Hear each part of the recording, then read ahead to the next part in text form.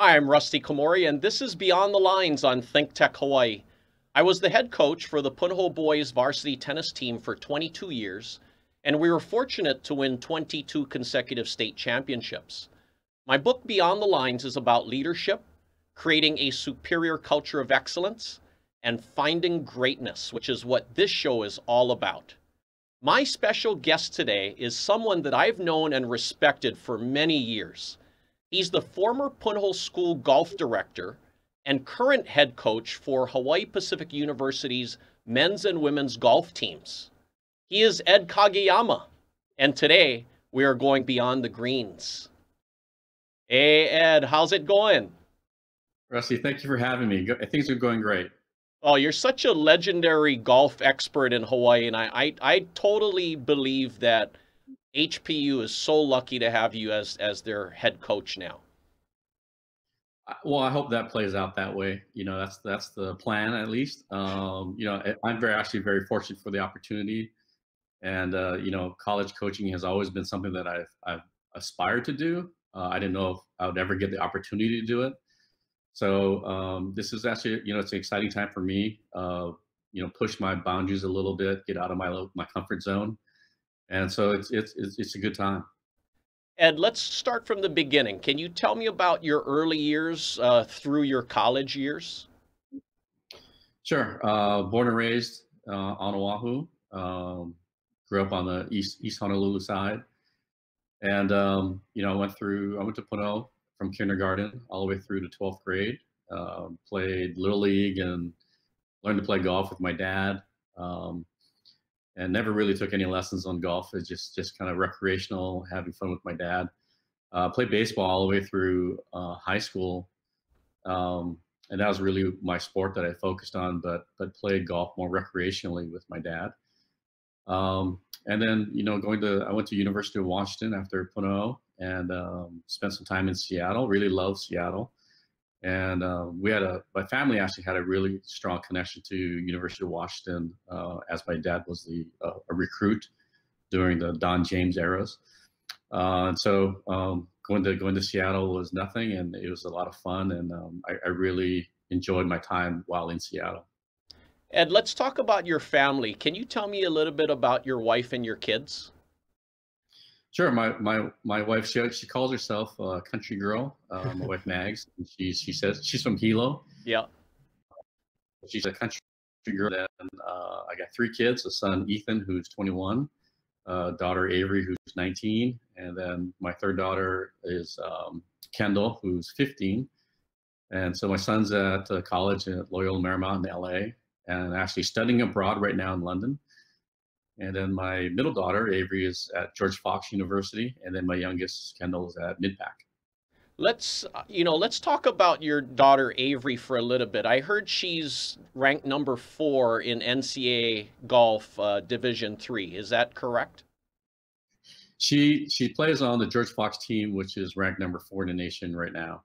Uh, it's a great program. She's really enjoying her time. Uh, really good coach. Um, you know, that was the thing when we are looking at schools that she wanted somewhere where it's a really strong program and that the coach was was a really good coach that would be very nurturing, supportive, and would have a really good she would have a really good experience uh, in in playing college golf. So yeah, she's loving it there. It's it's a little cold right now in Portland or just south of Portland, um, in in the Willamette Valley. Uh, but uh, you know, she's really looking forward to getting getting going in the spring season. Nice. Now, Ed, I, I got to ask you. I have no idea about this, but what was what was the first job that you've ever had in your life? Well, there's a couple that I kind of consider. One one is my first first job, real job, where I actually had to fill out an application and uh, and uh, go to an interview. Was Domino's. Um, my friend and I decided we wanted to go get summer jobs, and so we we were Domino's delivery guys.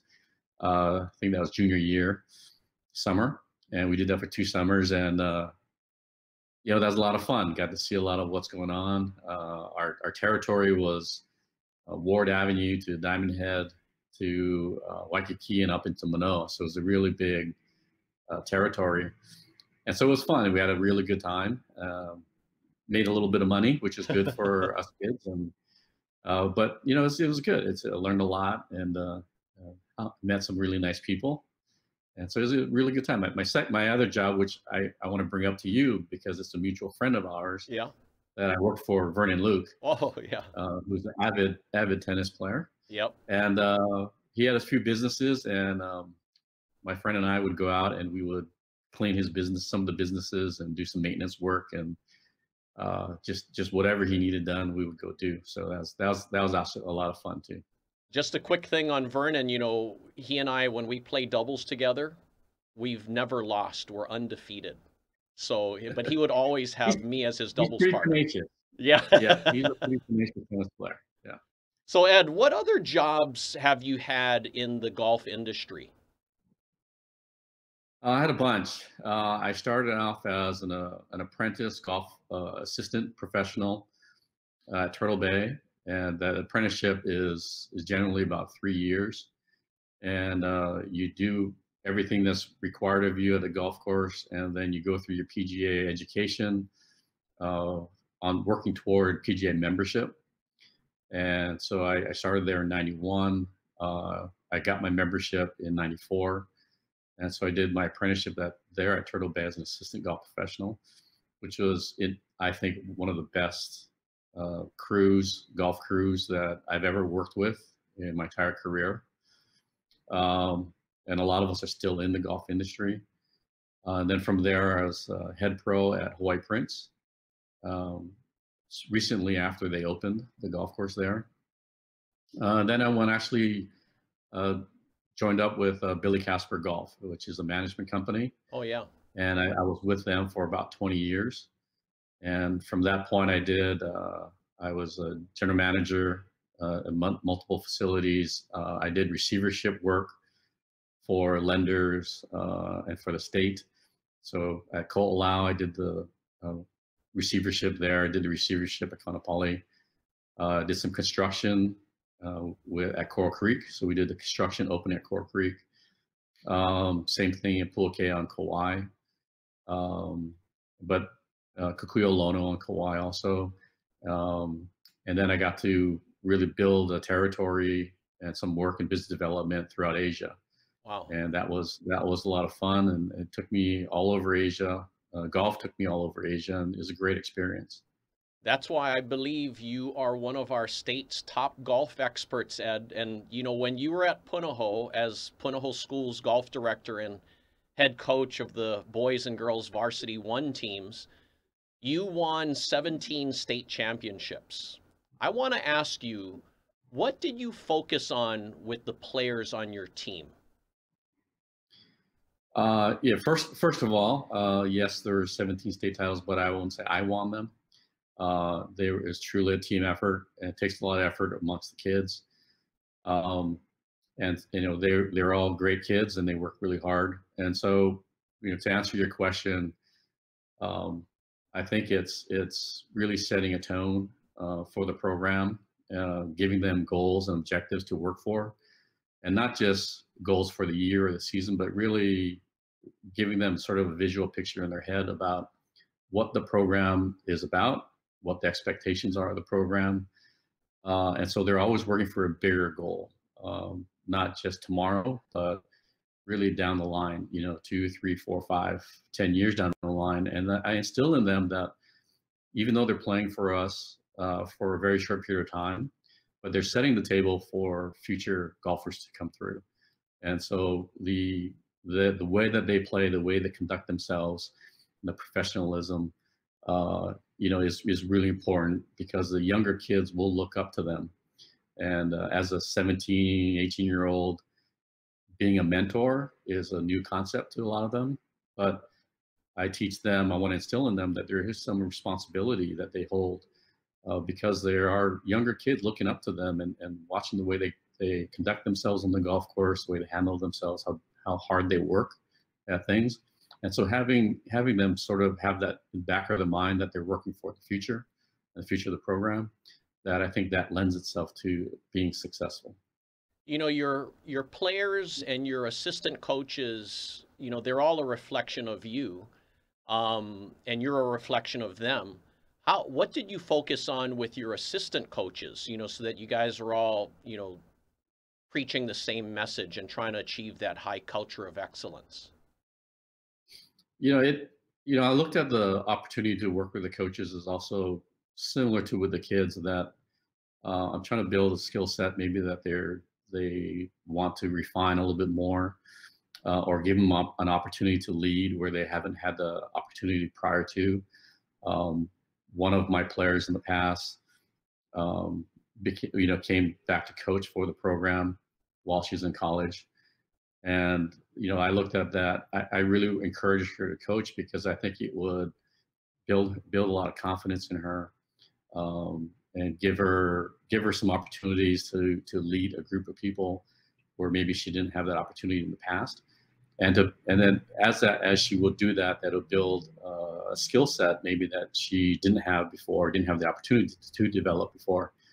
And so I, I, look at the the assistant coaches and the head coaches of the other teams as really an opportunity for them to learn more experience more uh, and then to build build skill sets that maybe they, they don't have or they want to refine Ed, you and you and I both know that it's super difficult to win one state championship, let alone multiple championships. So I want to ask you, you know, looking back at the 17 state championships, what what allowed your teams to achieve success but also to sustain success year after year?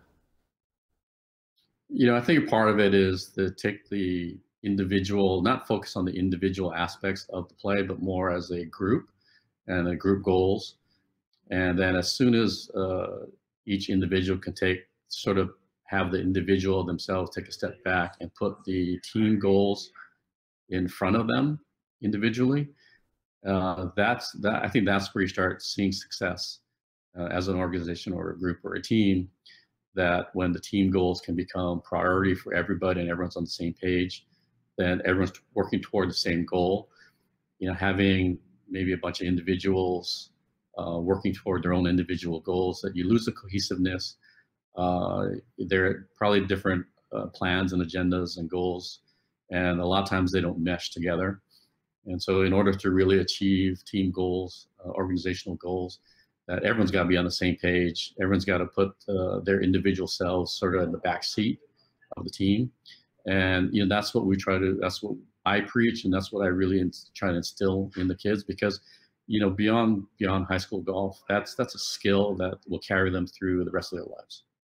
And I like hearing that. And you know, uh, golf is an individual sport, just like tennis and wrestling and track. How would you how would you make your teams feel like a real team?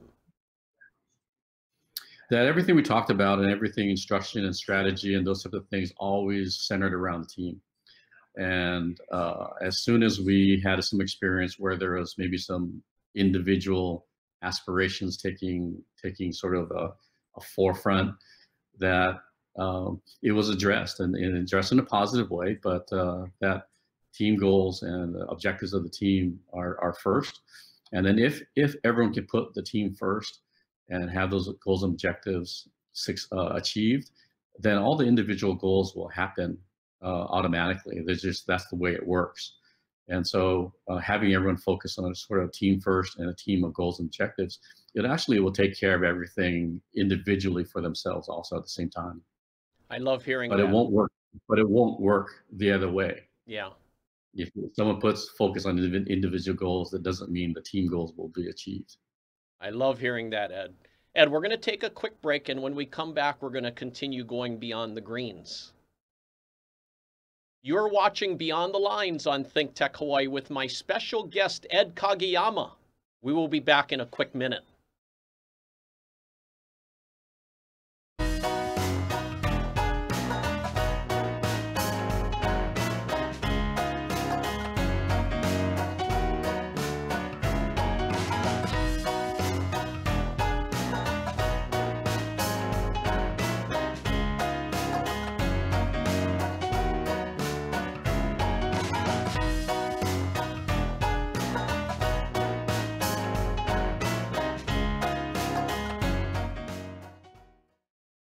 Y'all. My name is Mitch Ewan. I'm from the Hawaii Natural Energy Institute, and I'm the host of Hawaii, the state of clean energy. We're on every Wednesday at 4 o'clock, and we hope that we have interesting uh, guests who talk to us about various energy things that are happening in Hawaii, all the way from PV to windmills to hydrogen, close to my heart, electric buses and electric vehicles. So please dial in every Wednesday at 4 o'clock on Hawaii, the state of clean energy. Aloha.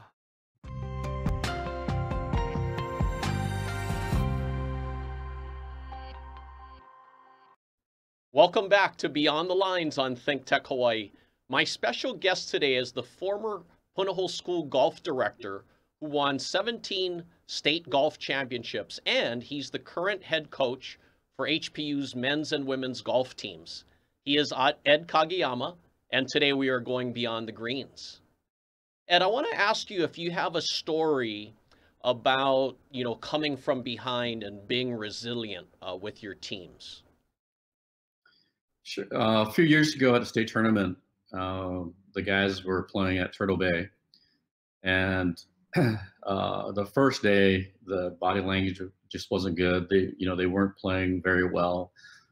Uh, heads were down, and uh, you know, you you could just tell that they they weren't happy with the way they played. They were actually becoming much more negative and pessimistic, and um, you know, obviously, and so we were we were second um, with many strokes behind the, the leading team. And so at, at the meal, at our, our, team dinner after the round, we, we uh, sat down with them. We talked about um, positivity and just being positive, and then uh, how you know how body language and attitudes have a lot to do with uh, with outcomes uh, when we're playing sports and golf, and that when you have sort of these more positive outlook and things, that you'll actually start getting lucky bounces. And a lot of times those bounces will just happen, but it's just more a mindset on uh, either being a positive or negative mindset is how we will view what things happen to us. So as an, if you have a more negative a, a mindset, you tend to become more of a victim, victim mentality of I'm a victim of the situation that has happened to me. And then it becomes this downward cycle. Um, a downward spiral that at some point in time you either hit bottom or you got to break the cycle. And so the whole focus on the second day was being positive and just being positive about everything. And and uh, Avery's coach, she used the term gratitude and having gratitude about just being on the golf course, being is a beautiful day, and just just be- uh, gratitude of the opportunity that it starts creating more of this positive mindset. And uh, you know, and so that you know, we talked about being positive on the golf course.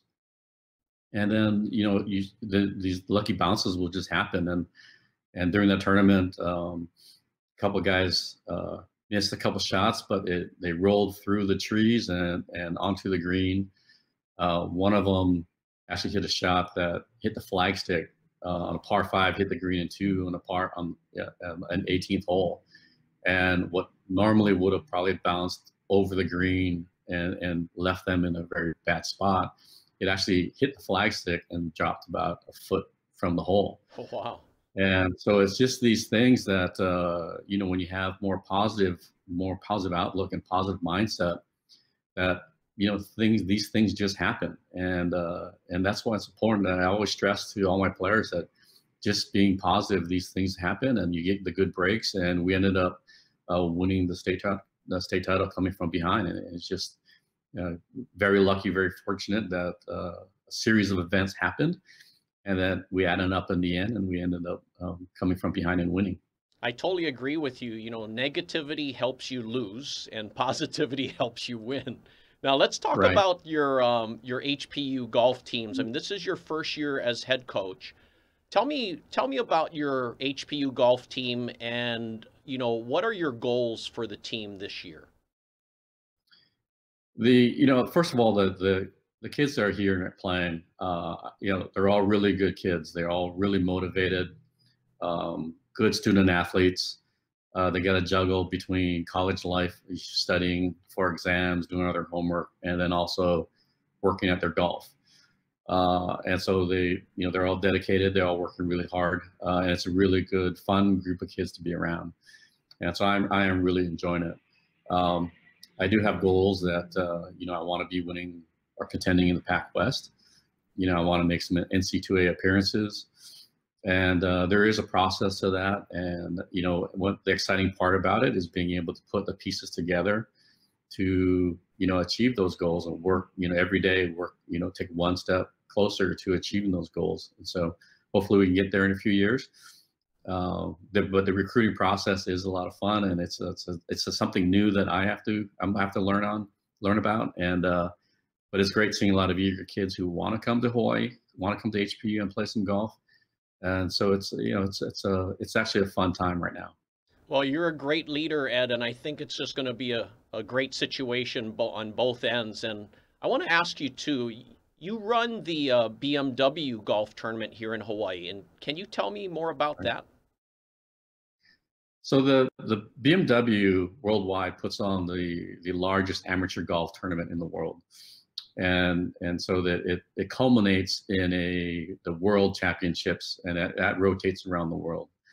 Um, and so there is a U.S. final, which is at Pinehurst every yep. year in the fall, and so we have the Hawaii Regional Qualifier here in in May.